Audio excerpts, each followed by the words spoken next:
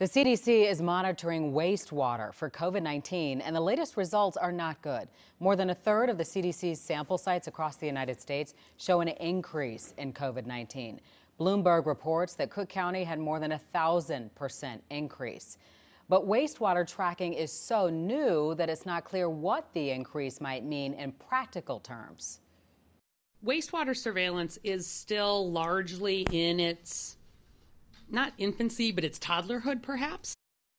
Chicago's top doctor also says they are watching wastewater data, but they also follow a lot of other data as well. And right now, it's all looking very good as we hit the two year mark of the pandemic really hitting Chicago. Sally Schulze has more on that. It's been a long, challenging two years since COVID 19 first hit home here in Chicago. Mayor Lori Lightfoot and the city's health leaders look back. Two years since the first death in Chicago. A retired nurse died from COVID March 16, 2020. Then came the shutdown, a drastic response they plan to never use again. My goal, and you heard it from Dr. Arwady, is to never shut our city down again.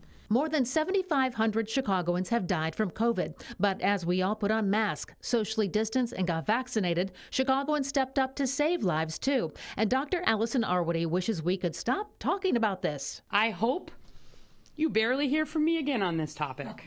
But we need to talk about vaccines. 77% of Chicagoans have received at least one dose of a vaccine. Most of those dying haven't gotten the shot. Every week we still are seeing 10 to 15 of our residents die every week. And while cases are low here, they're increasing fast in parts of Asia and Europe. Can I promise COVID is over? No. But my team is continuing to monitor every day the variants, the data, seeing what we're learning every every week, focusing on the science. And I want to thank everybody in Chicago for helping us put that science into place. Dr. Arwady says there's always a chance we might have to put those masks back on, but she says it would only be temporary if there's another surge. Reporting downtown, Sally Schulze, Fox 32, Chicago.